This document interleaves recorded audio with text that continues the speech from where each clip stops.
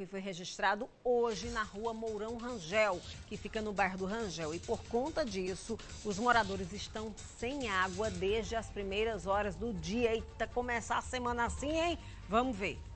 A gente está aqui na rua Mourão Rangel, que fica no bairro do Rangel, em João Pessoa, para mostrar um problema que os moradores daqui já enfrentam há muito tempo.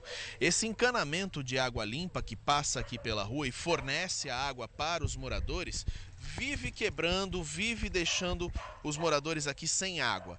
E não foi diferente na madrugada desta segunda-feira. Vocês estão vendo aí o cano quebrado, exposto aqui debaixo dessa rua de terra a situação começou a uma hora da manhã. Esse cano aqui quebrou a uma hora da manhã e está vazando desde então. Na manhã de hoje, inclusive um morador, para protestar contra essa situação, veio e tomou banho dentro do buraco, como vocês podem ver aí nas imagens. Os moradores aqui da rua estão revoltados com essa situação. Não é a primeira vez que esse encanamento deixa todo mundo aí na mão. Os moradores estão sem água, enfrentando aí essa situação mais uma vez aqui na rua Mourão Rangel, no bairro do Rangel, em João Pessoa. Olha a situação em que se encontra nesse momento aqui esse pedaço da rua totalmente destruída. Os carros têm inclusive dificuldade para passar por aqui, fechando garagem na frente das casas, atrapalhando o trânsito, atrapalhando a vida das pessoas. A água foi fechada já.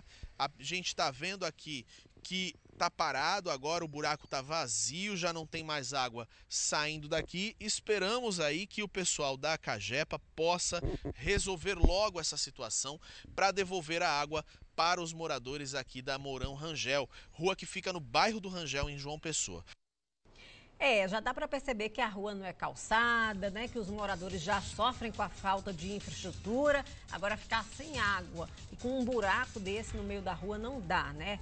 Nós entramos em contato com a assessoria de imprensa da Cagepa, que confirmou que o serviço aí no local foi concluído agora há pouco e que o sistema já está em operação normalmente. Então, notícia boa aí para os moradores do bairro do Rangel que começaram a semana com dor de cabeça e pediram ajuda para nossa reportagem.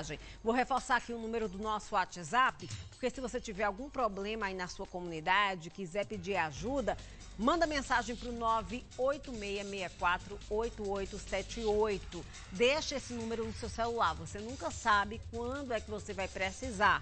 Então já deixa anotadinho, porque através desse número você manda sugestão de reportagem, você mostra o problema que está acontecendo na sua comunidade, você faz sua denúncia, você manda flagrante, enfim, é o nosso canal direto de comunicação. Dá opinião também, manda mensagem, eu adoro esse WhatsApp.